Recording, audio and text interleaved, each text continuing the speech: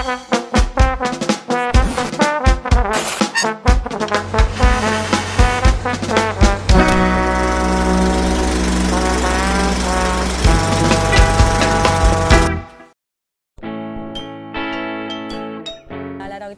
proiektua e, dokumental bat da, pizkate esperimentazio puntu bat daukan dokumental bat, eta berrogeita mar minutu irauten dituen lana da, eta bertan e, hitz egiten da amama eta biloben e, erlazioi buruz. Izena jatorria dauka kuosketan den liburuan. Liburu hori e, oteitzak egiratzi zuen bila bederatzi da irurogeita irugarren urtean, eta bertan ba, askoren barruan, berak azaleratzen zuen beste bat.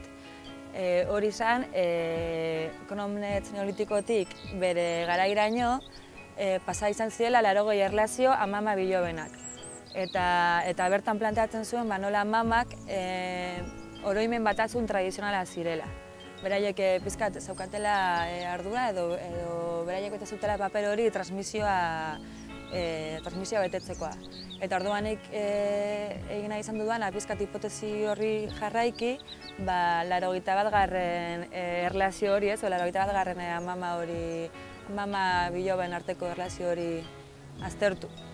Eta orduan pizkat nire galdera, zan hori ez, ba, bizitza tradizionala galdu, galdu egin bada, ezagutzen dugun moduan, ba, guk ere bai identitatea galdu dugu edo ezaugarri hori galdu ditugu bueno, identitatearen kontua pizka da e, sentimendu pertsonal bat, ez? Azkenean e, ba, zaila da, e, zaila da munduan e, azaltzea Euskaldun bezala. Ba, irudiei dagokionez edo simboloi dagokionez, ba, Euskalduna izatea beti izan dela ba, pues, daukagu nahiko markatuta, ez? Simboloa, ba, beti edo jotzen dugu e, irudi bukolikoetara edo bestela gatazkaren irudietara.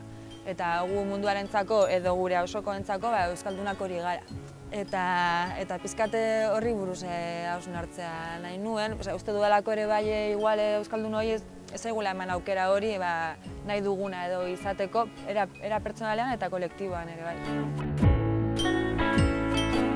Lanean e, azaltzen diren e, protagonista guztiak emakumeak dira. Eta arrazoia da ba, asko hitz egin da e, euskal kulturan e, matriarkalismoaren inguruan eta jendarte matriarkal bat e, bizi izan dugun e, teoriak ere bai sortu sortu izan dira.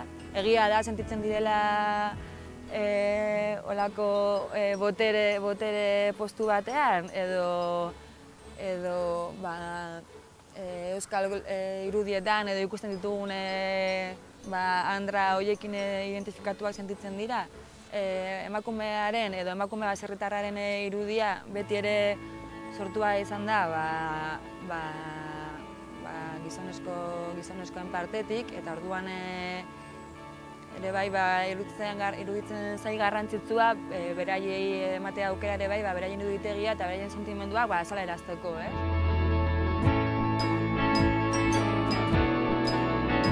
Mama eta biloba gehienak bai sentitzen zirela kolektibo baten parte. Orduan e, ezaguarri eta ze, aparte sentimenduak nahiko antzekoak dira.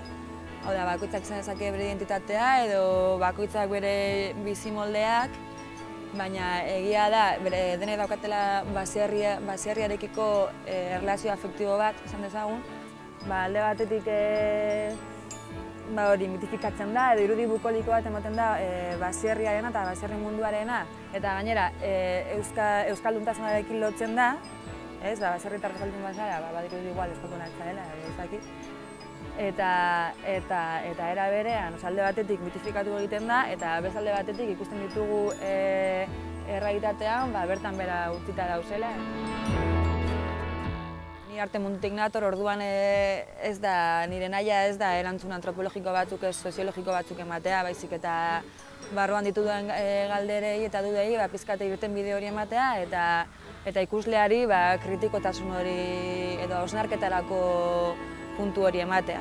Niretzako garrantzitsuena da, e, diskurtso bizuala, ba, beraren e, bueno, irudien formak eta muntaia daukalako e, kriston pizu ez, da, eta diskurtso propio bat daukalako, Orduan uste dut e, diskurtso berbala baino baino importanteagoa dela diskurtso bizuala eta eta lana bera, ez? E, lana bera da, da obra.